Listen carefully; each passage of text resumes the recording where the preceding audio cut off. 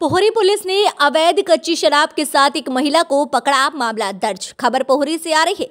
पोहरी थाना क्षेत्र के अंतर्गत आने वाले ग्राम नया गाँव के पास की है, जहाँ सहायक उप निरीक्षक पुष्पेंद्र सिंह चौहान ने मुखबिर की सूचना पर से एक महिला को अवैध हाथ भट्टी से निर्मित कच्ची शराब के साथ पकड़ा है, जिस पर पुलिस ने आबकारी अधिनियम के तहत मामला दर्ज कर लिया है। घटनाक्रम की जानकारी के अनुसार सहायक उप निरीक्षक पुष्पेंद्र सिंह चौहान को मुखबरी से सूचना मिली कि पोहरी नया गाँव के पास एक महिला पोहरी नया गाँव के पास एक महिला अवैध हाथ भट्टी से निर्मित कच्ची शराब की बिक्री कर रही है जहाँ सहायक उप निरीक्षक पुष्पेंद्र चौहान ने पुलिस बल के साथ दबिश दी और मौके से महिला कोयला पत्नी सुल्तान बंजारा उम्र 35 वर्षीय निवासी नया गाँव को अवैध कच्ची शराब के साथ पकड़ा जिस पर पुलिस ने मामला दर्ज कर लिया है। पोहरी से संवाददाता धर्मेंद्र शर्मा की रिपोर्ट। कितने लीटर पकड़ी गई है?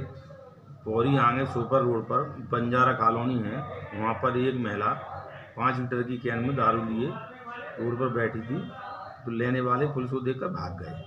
तो इसको पाँच लीटर दारू इससे जब्त किया है कच्ची दारू भी अवैध रूप से बनाई गई थी। सर किसी द्वारा सूचना दी गई थी आपको? ये तो रोड पर पेट्रोल पंप पर बताया था आदमी ने कि ऐसे ऐसे एक, एक महिला दारू बेच रही बैठी है बेचने की